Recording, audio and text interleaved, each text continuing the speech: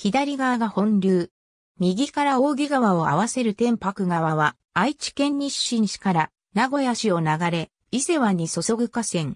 二級水系天白川の本流である。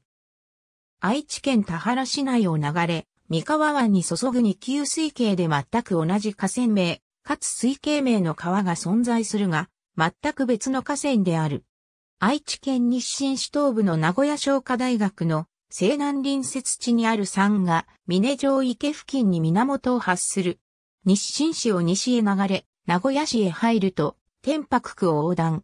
各区及び東海市の境界を流れ、名古屋港へ注ぐ。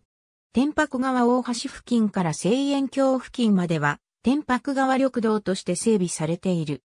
名称は、下流の名古屋市緑区鳴海町にあった、寺、天白にその昔、天白神が祀られていたことによるものである。天白川の名前は明治時代になってから名付けられたものであり、それまでは米野木川と呼ばれていた。これは当時の愛知郡上田村では米野木川も社川も上田川と呼ばれており、紛らわしいため名称を整理したものである。江戸時代の頃から水害がたびたび起きており、流路が幾度も変わっている。途中にダムは一つも存在しない。括弧内は合流地点。地理院地図。国土地理院。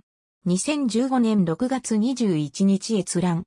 年報、矢作川研究 number one four。研究ノート、天白川源流域の水質環境。豊田市矢作川研究所。2015年10月7日閲覧。ありがとうございます。